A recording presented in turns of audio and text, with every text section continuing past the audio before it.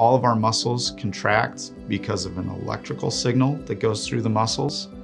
And the heart has a, a somewhat simple, but it has an electrical system that helps it to beat and tells it when to beat. And sometimes that system doesn't work right. I'm more the electrician than the plumber. I'm Mark Harwood. I'm a cardiac electrophysiologist. I work here at Providence. I work primarily with patients who have heart rhythm disorders, whether that's heart rhythms that are too slow or too fast, and we can treat those with pacemakers and defibrillators and ablation procedures and medications.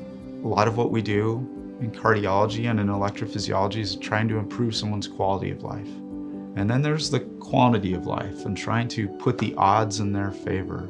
I think there are a lot of fields where you can really help people, but I get to be in a field where I actually get to see it and, and be there when it happens. Got a great job. I'm lucky.